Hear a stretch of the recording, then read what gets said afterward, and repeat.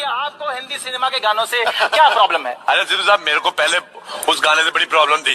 भी कहती पौ कहती पै। मेरे को बिल्कुल नहीं अच्छा लगता लेकिन जब से मैंने इस आदमी का मुँह देखा है वो मेरे को गाना ठीक लगने लगा। सब्सक्राइब करने के बाद बेल आइकन को ज़रूर प्रेस करें ताकि आप आगे आने वाली वीडियोस को मिस ना करें।